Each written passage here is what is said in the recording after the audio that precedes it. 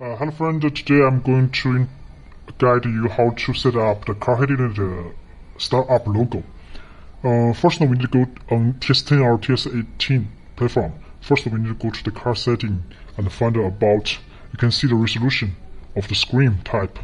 Screen resolution like this one is uh, 1600 times 720. So we need to find this solution. Uh, you can ask uh, your supplier to get the car logo or you can make one for yourself. Like this one, they have uh, many car logo.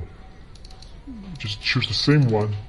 They have uh, for different type of road screen, and uh, you can you can try one 19 or zero. You can see many uh, car logo and find your car logo and copy to a USB flash.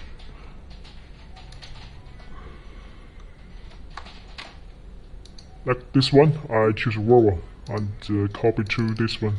If you're not sure your screen type is uh, 19 or 0 degree, just copy both. Then go to uh, your head unit to cop the plug the USB and uh, go into setting factory setting the password uh, 123456 confirm and you will see option for logo setting. Go to logo setting and you can see this the two type of logo just oh, stop. After set you will get a clear logo.